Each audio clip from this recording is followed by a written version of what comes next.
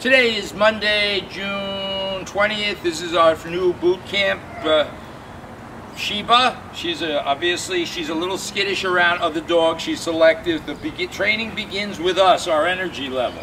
The dog has to defer to our authority in all conditions. Whether she's going to attend a 4th of July party and deal with fireworks and people, it's probably not a good idea for a nervous dog to be involved in that. So the first behavior we teach the human is leash and collar is always on and there's never tension. This is tension. There's never this. It's got to be here. The dog will adjust to us, but we have to teach the dog what our expectations are. If your expectations are unreasonable, this is a waste of time and money and it's unfair to the dog. So it doesn't matter if this is a German Shepherd or a Poodle. Dog brain is a dog brain. I'm going to step out my left and walk with Sheba. Good girl. When she gets ahead of me, I'm turning. Good girl. That's how I know I'm relaxed. She's a little concerned about the camera. Yeah. Good girl. When I stop, I ask her to sit. She sits. I praise. I don't use food. She needs confident leaders, not food. I step out my right. Sit. Step out my right. She stays. Good girl.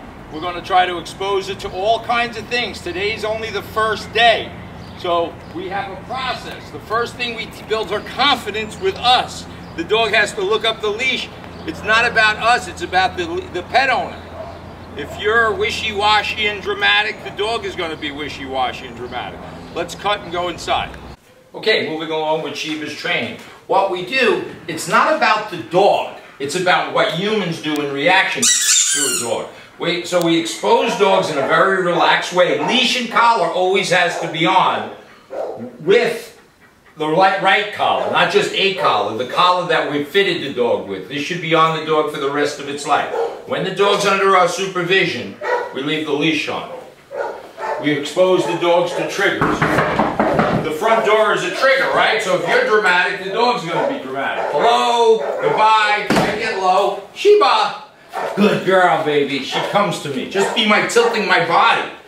Um, leash and collars on. She's wandering around our territory.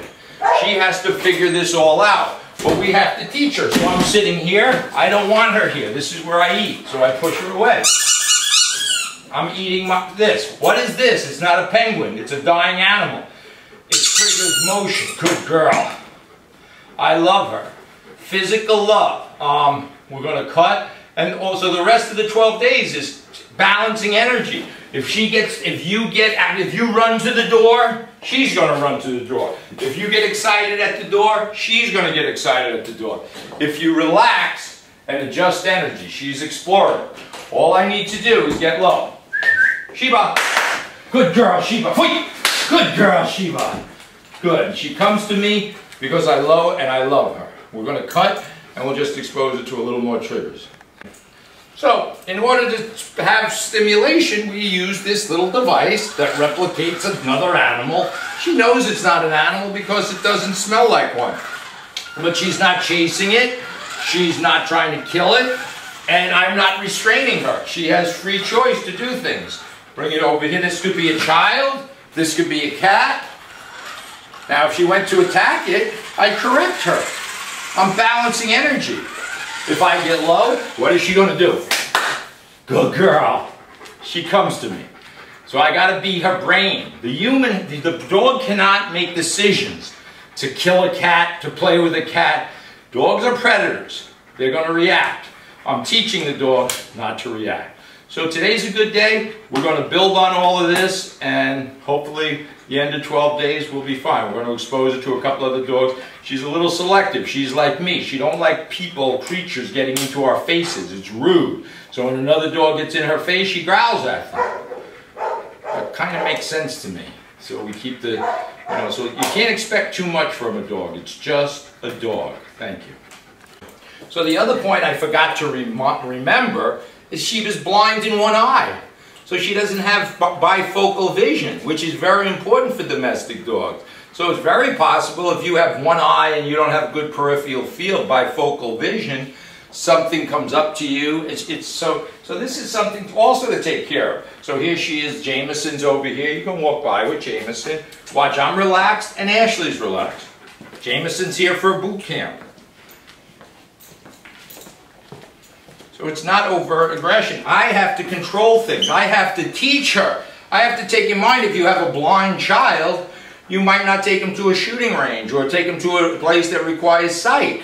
So dogs don't do well. They just most of the time want to be left alone in a safe and peaceful environment. Safe and secure. So they're either safe and secure or not.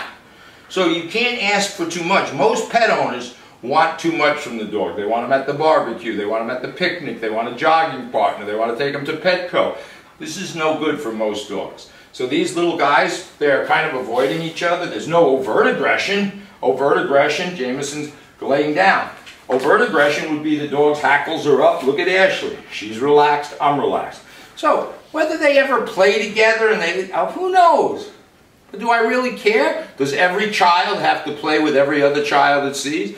Or can they just be left alone? Leave them alone. We're good for today. So,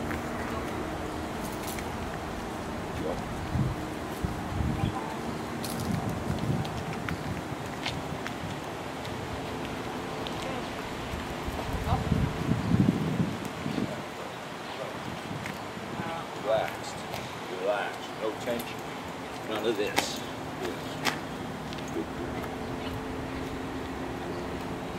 Leash is always on. Leash and collar always on. Inside the house, outside the house.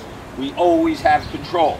This collar, not a prong collar, not a pinch collar, not a flat collar, not an electric collar.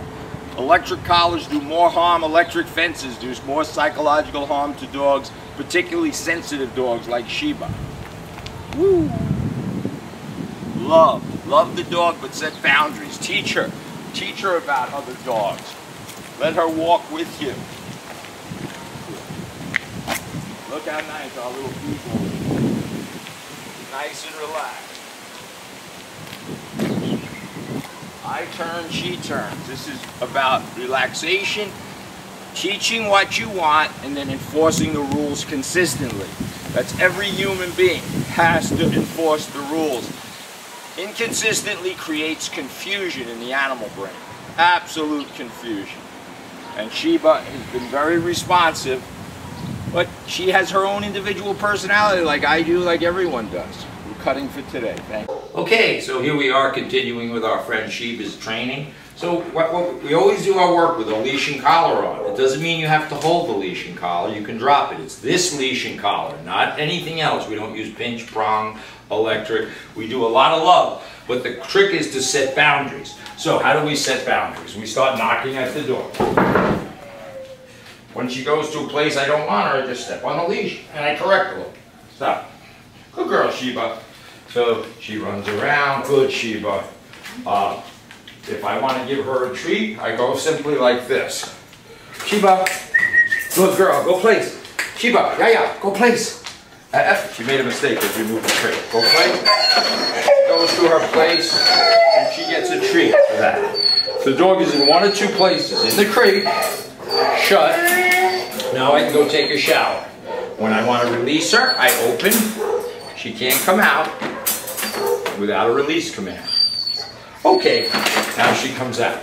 We're going to cut, and then we're going to go outside and introduce other triggers for the dog. All right, continuing with Sheba, we're out on a field now. This is no different than anybody's backyard, right? Leash and collar is always on. I'm going to start to walk. I want her on my left. I'm going to ask her to heel. Heel. Good girl. She walks on my left. I turn. She turns. We go nice. We go fast. She goes fast. We go. Uh, we go slow. She goes slow. Good. I turn. Heel. Good. She turns. When I slow down, there's no energy here. No strength. When I slow down, she's going to stop. Sit. I love her. Good. No treats for this. Step out my left foot. She should walk. Good girl. I stop. She should sit. Pivot out my right foot. She should stay. When I want her to C-O-M-E, I lower my gravity. It's visual. Sheba, come. Good girl. And she comes to my side. So this is it, basic obedience. Everything is picked up on. This is the foundation for everything else. This boot camp is elementary school. We're about halfway through it. Sheba's doing fine. She's a little selective with other dogs, but once you understand her, I stop, sit, I ask, no yelling, sit. If she don't sit, I correct a little, step out my right, good girl, and I'm gonna put her on free time. She's on free time most of her life. It looks like this. Okay, okay, girl, good girl. She goes, does whatever she wants. The only thing she can't do is bark and jump. If I wanted her to come to me, I'm gonna go to a place. I'm gonna get low because I'm old and I gotta bend back. So I sit on my little bench. Sheba, come. Good girl, baby. She comes to me and I love her. I do give her a little treat for this right now. And I love her. We're take, gonna cut, so it's heel, sit, stay. Let me see now, let's say I'm having a big barbecue and little children are coming over. Let's see if I can do something with Sheba. Good girl, Sheba. Sheba, come on. Let's say I'm afraid that we're gonna have a pool party. I have a crate in the shade. What place? Sheba, what place? Goes in her crate. I shut the door, and now we can have a barbecue without worrying about Sheba nipping anybody. Here, Sheba. Obviously, you put a bed in there, you can make it look nice, it's in the shade. It's a comfort zone. She's safe and secure when she's in her crate. Safe and secure. When she's not, okay, girl. Now it's anybody's guess. I go to the door. What is this? What is a door? It's an opening in the fence that people come in and out of. So we have to teach her not to go by. Get back. So I don't have to teach you to sit and stay, I just have to teach you to get away from the door. And that's what we'll be doing for the next three or four days. No energy. Then we're going to take a walk maybe into a little more contaminated, meaning a different environment. Dogs orient themselves to movement and sound. Once they feel safe, there's planes, there's trains, there's automobiles, birds, squirrels. She's doing amazingly well. Cut for now. Good, good, good. This is good video. Sheba's reaction to the dog. Aw, good. No problem. Thank you. No energy. I'm not going like this and holding her back. I'm just letting her be. I can drop the leash. She doesn't even know. Good girl, Sheba. Good girl. So a lot of love. A lot of love. And structure. Dogs need for you to think for the dog. Thank you for today.